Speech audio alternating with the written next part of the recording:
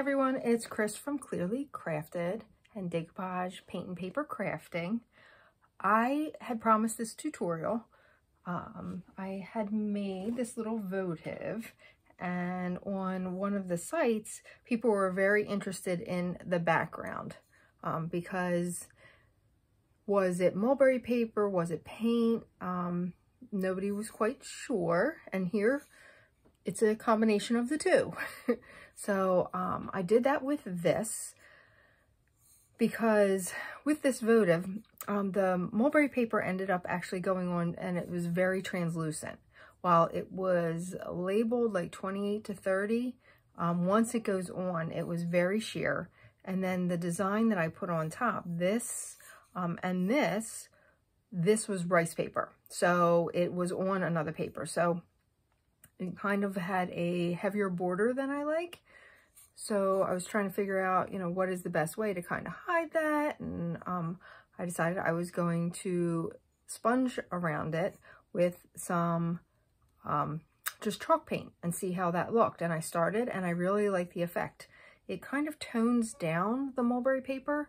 Don't get me wrong, I love mulberry paper. The look of it, the um, fibers in it I think are really neat, but sometimes I think it can actually take away from your piece a little bit because it's so liney. I don't know how else to put it. So many fibers in it, it kind of, you know, is all over the place. So I did the paint with this and it came out, I really like it. It almost gives it like a lace uh, effect. So it softens it. This one came out really nice. And then I have a triple um, thick glaze that's on there. Um, and I ended up doing it with this piece too, because I actually did not like the way this mulberry paper looked. I put it on, um, it's an off-white, obviously it was supposed to be white, it's an off-white, and I do like this mulberry paper, I use it for a lot of things, but this piece was so big, it actually looked a little bit splotchy, and I was thinking, how am I going to fix it, how am I going to fix it, and I ended up doing the same technique on this, where I then sponge painted um, a color called Plaster.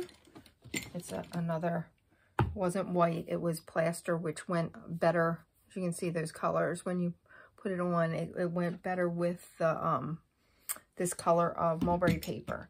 So it gives it, again, it kind of softened what looked a little more um, so uh, this one came out really nice too. And then this also has a, a glaze on it.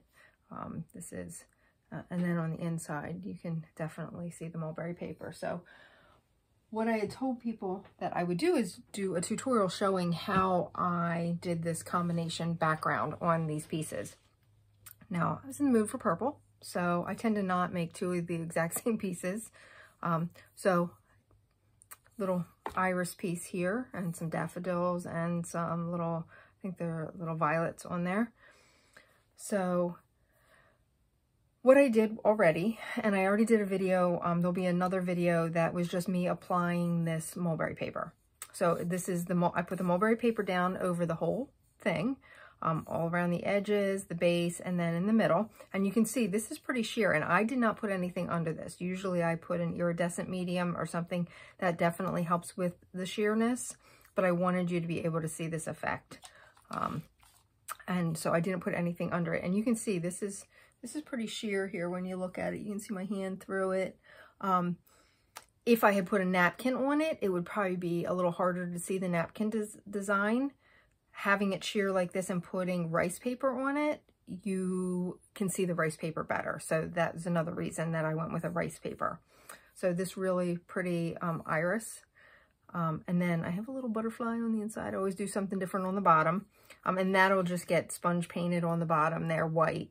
And then I'm going to end up doing like a purple. And I'll show that in another video because the video would go too long. I don't like long videos. We try and stay short and sweet. So let's get back to the sponge painting. So this is completely done. This is dry. This has two coats of Mod Podge over top of the design. So then I took a sea sponge. You can see they come in all different sizes. You can get them all over. See, nice, just a regular old sea sponge, and I took a piece off because I want a very controlled ability to, you know, just put a little bit in. So um, I'm going to actually wet it. I have some water here because it softens the sponge some. So it goes from being very stiff to being much more pliable. See, little sponge. And then I have just white chalk paint here on the plate. And then this is some iridescent medium that will end up going on over top. So I'm just going to dab my white chalk paint on here. And I'm going to actually look and see how it looks on the plate before I'm putting it on my piece. Nothing worse than putting, you know, trying to get that off your piece then. And I am going to just start, you know, just gently dabbing around. You can see. See how that goes on.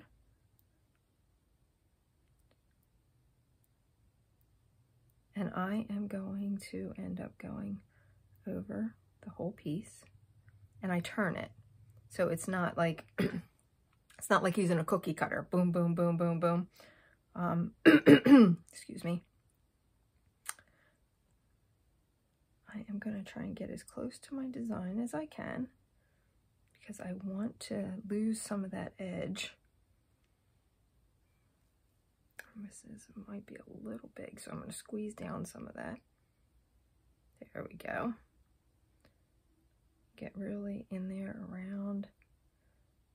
And I will end up going with a brush then and probably stamping some more in there.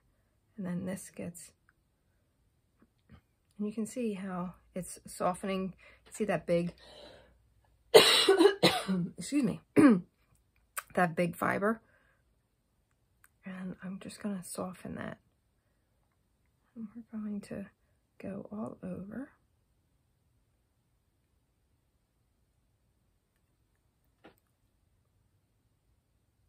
You see I haven't even gotten more paint on here. The, the sponge really soaks it up. But you're just going to be very careful about where you're placing it. You don't want it to then look speckled and polka dotted. The idea is we're looking for know, some blending and some contrast and you know, some softening. So one thing too is then when you come back in with more Mod Podge and your varnish, that again, you know, really softens this look. I know right now this looks a little more harsh and this is exactly the way it looked when I did it the last time where it's like, oh, white chalk paint. But then once you start adding a little bit of iridescent medium and then a little bit of, you know, your more layers of Mod Podge and then your varnish, it really softens that up.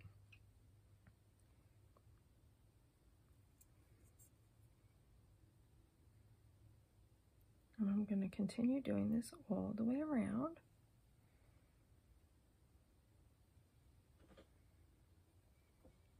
Actually have the window open today, the shade open, and it's actually a little bright.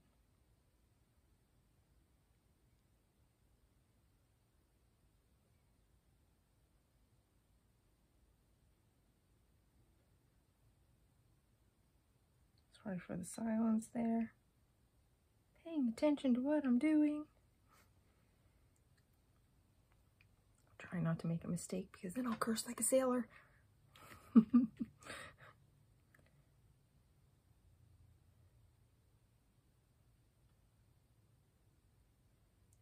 Everybody getting ready for spring.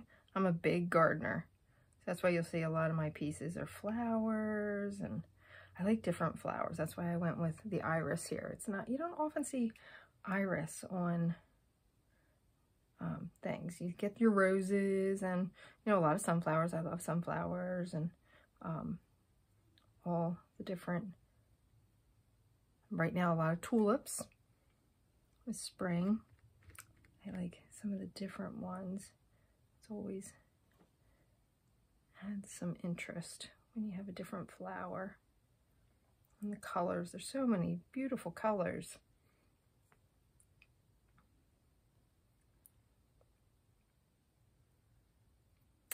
And so this is just going to continue. You can see how that is there.